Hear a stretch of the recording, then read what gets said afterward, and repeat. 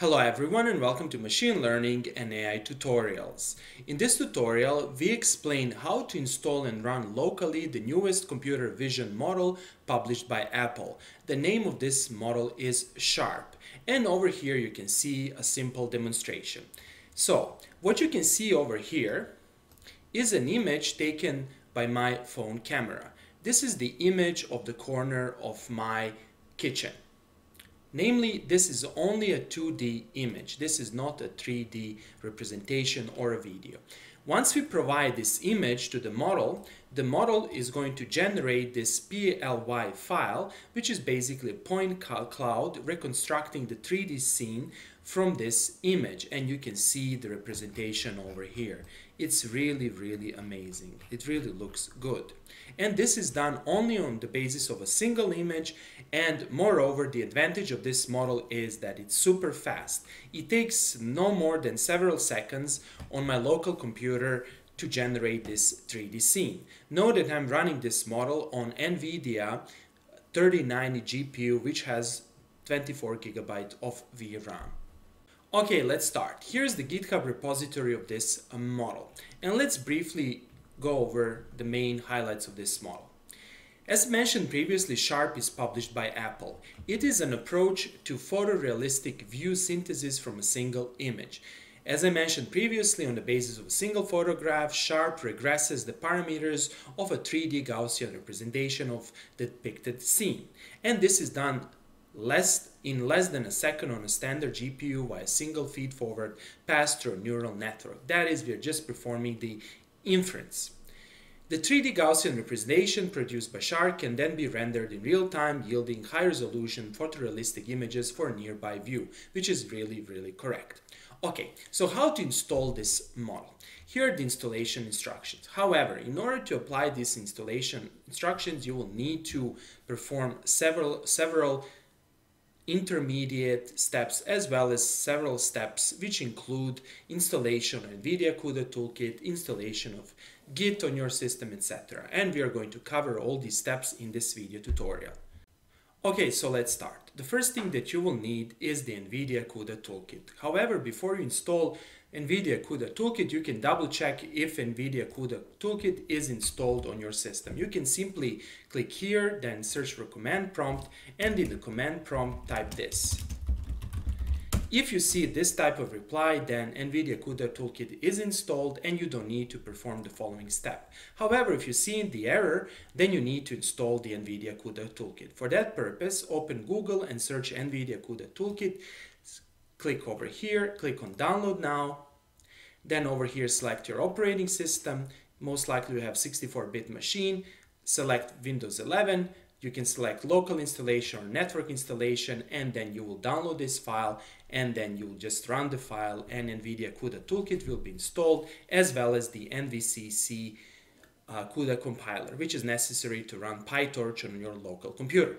The next step is to install Git. To install Git, simply search for install Git on Windows, then click here, Git, select Windows, then over here you need to find a 64-bit version, here it is, download it, install it, add it to the system path, and that's it. To verify that this step is done correctly, you can over here simply type git in the command prompt and you should see this generic reply. This means that git is installed and you can proceed further. Okay, so the next step is to open a new terminal. Click here, search for system command prompt or command prompt. I'm going to resize it over here such that you can see what I'm typing.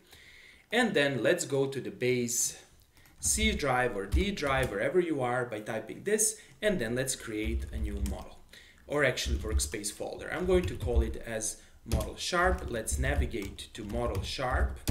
And inside of this folder, we are going to clone the, the, remote repository. Here's how I'm cloning. How did I get this web address? Well, I went here, I went here, I simply copied this address and I pasted it over here and that's it. So let's clone this. It's not going to take too long to clone this repository. And then let's navigate to the newly created folder. And here we are.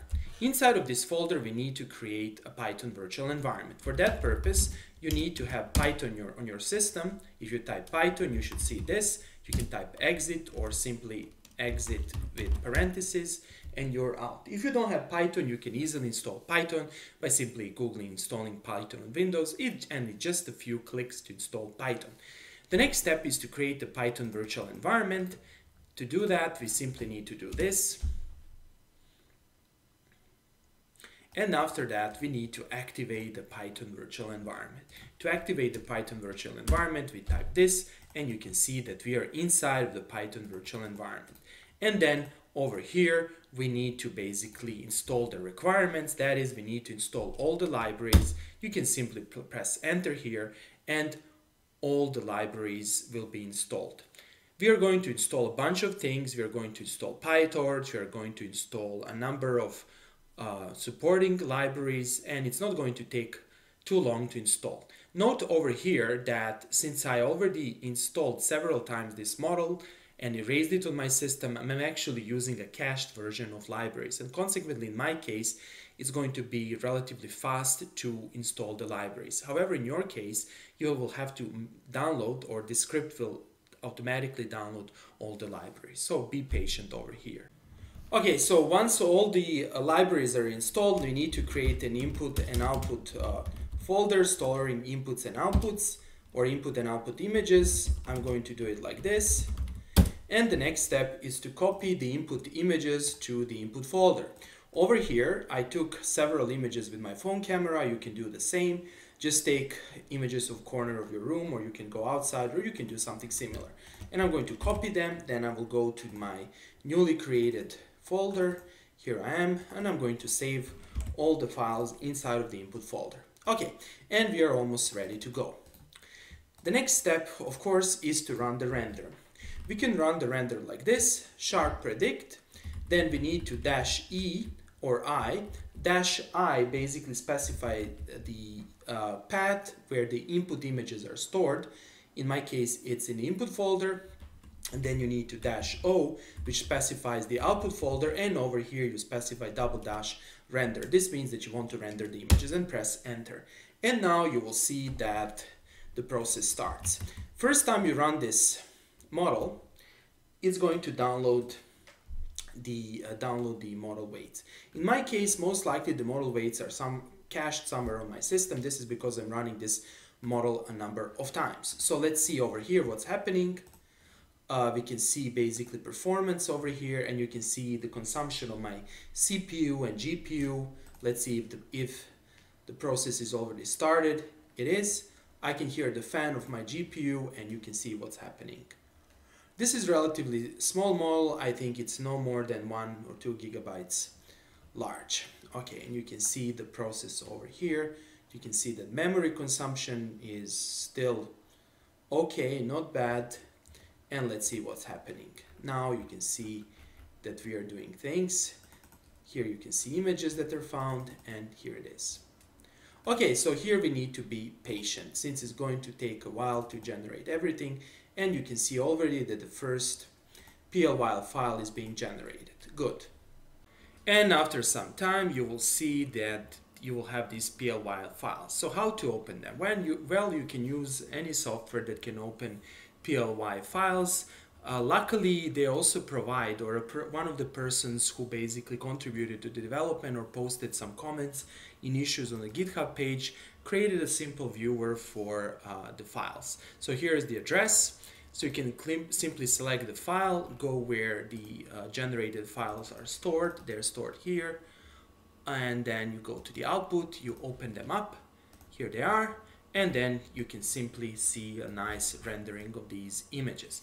And that's all for today. I hope that you like this video and see you in the next video tutorial.